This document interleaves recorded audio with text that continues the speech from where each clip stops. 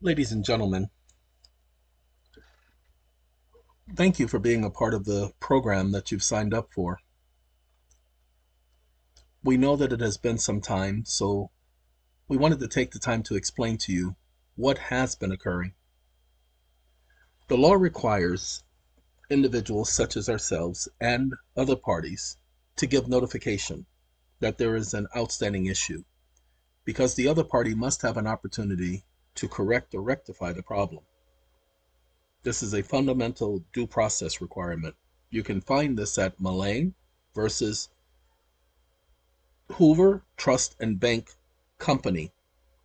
This particular case, the Supreme Court made it quite clear, and as they've done in several other cases since then, that it is a fundamental due process requirement that a party be given notice before having a substantial due process right taken from them.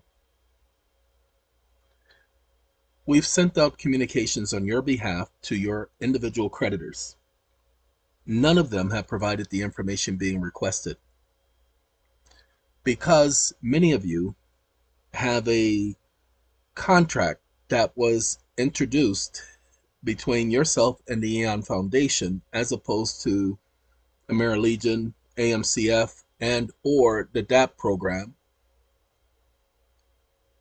an arbitration hearing was had at the request of the Eeon Foundation, who was a party to the agreement. The arbitrator reached a decision based upon either non-participation, non-communication, and or failure to provide evidence necessary to sustain any opposition to violation of the contractual agreement. We are in the process of helping you offset this on your 1099-Cs. For the rest of you, many letters have gone out to separate creditors asking for certain information, which the law requires. You will be receiving, or if you have not already received, a packet with each of the letters that were sent out on your behalf. Accompanying this video is a communication. The communication is for this document right here. This document deals with filing in small claims court. Now, I know many of you are leery of small claims court. Please, you shouldn't be. Small claims court is how I got my start. At the age of 16, I studied small claims rules. There are basic rules for small claims court. These are not the same rules as the regular court. Small claims court rules are written for the layman to understand. In other words, none of you should have a problem understanding the rules of small claims court. Do not be intimidated because it says the word rules. If I can do it at the age of 16, all of you can do it at the age of 108. Just kidding. So, it is a suggestion that you go over the rules for small claims court in your area because you're about to get yourself involved in a career of going into small claims court. And let me explain why. And this goes for everyone receiving this communication who's a member of one of the programs. We have more coming for you, but we need to explain before we go on and talk about how this document is to be processed. For some of you, you thought that it took a long time. This has been, oh, it's been tedious. What you don't understand is how tedious it really has been. We have spent over $7,000 in mailings. Now, if you don't believe, Go ahead and take a look at the packet many of you received. There are more than 29 documents in there that were mailed separately to individual creditors. See, when you mail out a document notifying someone that there's a problem, then they have a certain amount of days to respond, and we had to give them that. One moment. One of the primary and first things you must understand is why. Why use small claims court? Well, for lack of a better word, small claims court was designed for people like you. People who didn't know much about law, didn't know much about codes, didn't know much about procedures of the court. Small claims court was designed because they had to make a way for the common person to go into court and state their claim. Now, although you see shows like uh, People's Court, Judge Judy, Judge Joe Brown, the divorce court, you see all of those mimicking small claims court. Small claims court is your justice of the peace court. It's the very same court that you go into if they're foreclosing on your property. Now, technically, when they're foreclosing on your property, the one thing they don't allow you to do is a counterclaim. Anyone can do a counterclaim against you in small claims court, but the parties that you're going to be going after, they don't have a claim. See, you're going after bonds. What do we mean by bonds? Well, all major companies, especially financial companies like banks, must be bonded and insured. They must have a license. If they have a license, they are usually required to be bonded. Just in case they harm one of the people in this country or the posterity of the people. Now, this document explains that you are one of the posterity. You don't have to be a citizen to be one of the posterity. All you have to be is in America because it was provided for the framers, which the preamble says the framers were the people. And they said they ordained it and established for themselves and their posterity. Nobody can argue whether or not you're one of the posterity because they have no way of proving you're not. You don't have to prove that you are. They have to prove that you're not the first thing you do in the court is you challenge the jurisdiction. You must challenge the jurisdiction of the court right off the bat. So you're going to put your name at the top. Then you're going to put the name of the court. You're going to call it a court of record because that's what it's supposed to be. That's what you're demanding. If they do anything else other than that, you'll find out that you can actually go after the judge's bond. If there was a judge who violated your rights, if there was a prosecutor who violated your rights, if there was a clerk of the court who violated your rights, create yourself a ski, ski fee schedule. Document the violation of rights and take on the small claims court. Now, the fee schedule is not what you're introducing in a small claims court. That's what you're going to do for the tax credits associated with filling out the 1099-C. If you don't know about a 1099-C, there are tons of videos on the internet showing you what a 1099-C is, including videos done by Eeon. That's what the suggestion would be. Okay? That is what the suggestion would be that you watch those to figure out what a 1099-C is useful for. Now, the law, again, requires you to give notification. You are giving notification. You're going to bring a suit against those 1 through unlimited, and then you're going to add the name of the bank in front of your doe. So if it's Wells Fargo Bank, you're going to put wake up Wells Fargo Bank, comma, NA, comma, et al.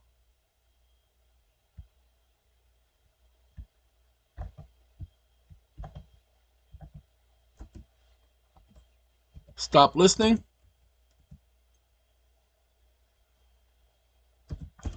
Now, I did something different that I should not have done. When you do this section, whenever you're naming a defendant, you want to do the upper lowercase. Yours, your name, I mean, you're all uppercase. Your name is upper lowercase the name of your estate, all capitalized letters. Don't worry about them changing it because you've already stated in this you don't give them permission to have any control over your name. Your name, when it's associated with your information, is your property, not theirs. You have the right to property. You're letting them know that your name and anything associated with it is private property. Just that simple. We'll talk about it in a second. Give it a, give it a moment. I know some of you are asking questions. What do you do? Blah, blah. We're going to get to that. This is a suit at common law. Ladies and gentlemen, the Seventh Amendment says in all suits at common law, you should have the right to a trial by jury. In here, you talk about how a trial by jury and a jury trial are not synonymous. Okay, this suit is brought at common law and acknowledges the public officials have to be insured, that you have the right to redress. Then what you're going to do, you don't have to change any of this. This is general information, ladies and gentlemen. Every bit of it is general information. When you get here, this when you start putting in your complaints. Now, remember I told you we sent out 29 different letters? Well, each one of those letters required a response, ladies and gentlemen, under the Fair Credit Reporting Act, the Fair Debt Collections Practices Act, and the Truth in Lending Act, for those of you who have mortgages, student loans, or car loans. So each one of these sections, you don't need five or six claims. You're going to bring three claims only. Why? 29 letters 3 divided into 29 goes in 9 times, ladies and gentlemen, with 2 left over. 3 claims per complaint, and the final 2, you can bring one more claim after that. So you can bring a total of 10 separate claims, because in small claims court, it's not the dollar amount that you're concerned with. You're not suing for the total worth of whatever the issue is, the total worth of the property. You're suing for the damage and violation of your right under those acts that I just mentioned. And they have a dollar amount. You want to sue for the maximum amount allowed in that court because you're going to sue the insurance company and the bond for each of these agents. We don't care about the agents. We don't care about their company. We only care about the insurance. So when you're suing the agent, you're suing the agent's insurance company. When you're suing the company, you're suing the company's insurance company. And then you're suing the insurance policy, i.e., the bond. Why are you suing the bond and an insurance policy? Well, first, they're not immune. And they took out insurance. That's called liability insurance. You were bringing a claim. And the reason why you're suing them is because you already asked these people, as we have, for their bond information. And they failed to provide it. And you asked them for other information that by law they must provide, and they failed to provide it. So guess what you get to do? Ta-da. Now you can bring up the issues. So you bring up three violations. So you go through the Fair Debt Collections Practice Act, go through the Fair Credit Reporting Act. You bring up three violations and an arrest, you explain what they did. You don't have to go into full detail, kamikaze, or anything like that. You just explain what they did. Leave the rest of this alone. You don't have to change none of this. You don't have to change none of this. The only thing you have to do is come here, put in your name because you're letting them know that you're rescinding all of those stupid contracts, that all those little stupid trust agreements, that adhesion contracts, you're, you're not playing that game. And then finally, most people are missing this point. Oh, I'm sorry, I just missed it too. Hold on. We got to go back to that right above this line right here. Right above this line, there is the date. Okay? And there is on the other document, this is the more recent one, on the other document, no, there it is right there. Right here at the bottom of that letter. Okay. There is a place for you to sign.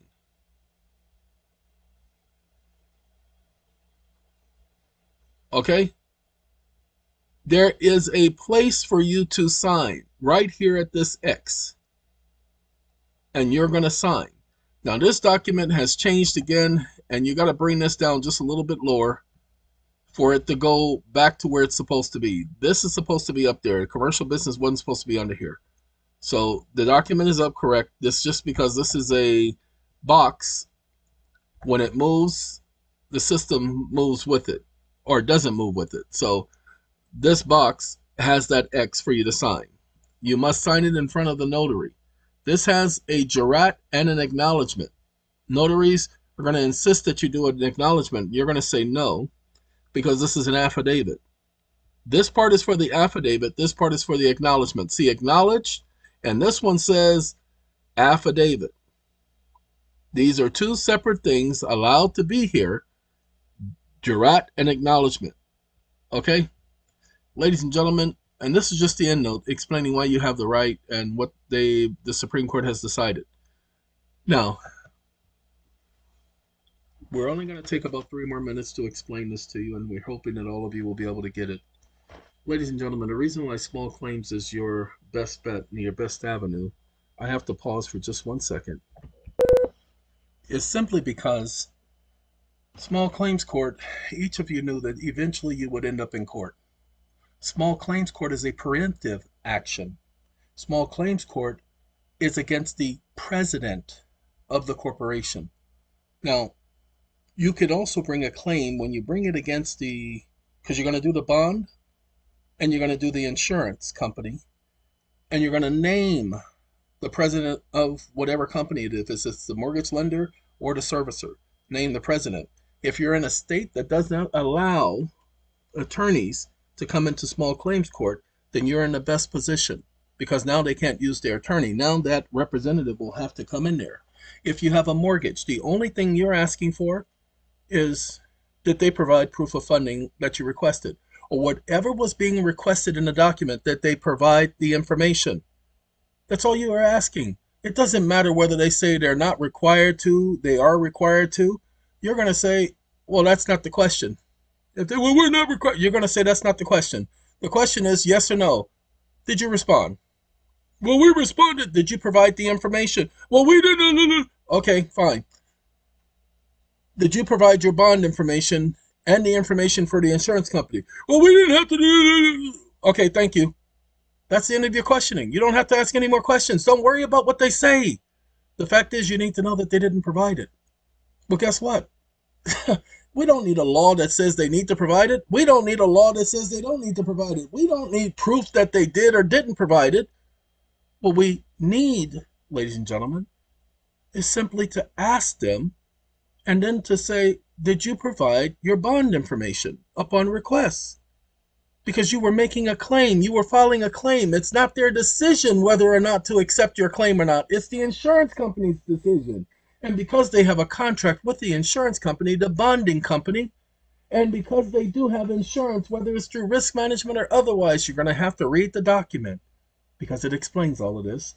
Because they have a policy with them, and the policy requires them to communicate their liability insurance information, and they didn't, then that's grounds for you to bring forth this claim because you're only bringing up the fact that they did not provide liability insurance information. Ta-da! That's it. They didn't provide liability insurance information like they were required to. And then, oh, by the way, they didn't provide these other documents either like they were required to. And that pattern right there violates and interferes with my rights. Ladies and gentlemen, this document does a whole lot more. And we'll talk about this subsequent to this in other videos for you, just for your benefit. This is not being put out for the public. This is only being put out for your benefit because you are our clients. So until the next time, thank you. And please review the document. There'll be more instructions to follow. Have a very good day.